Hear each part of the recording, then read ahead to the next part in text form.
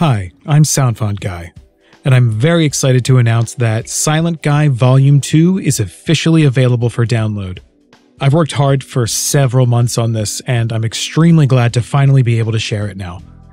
This is a sound font and sample pack that is packed full of samples inspired by the music and soundscapes of Silent Hill 2, just in time for the remake.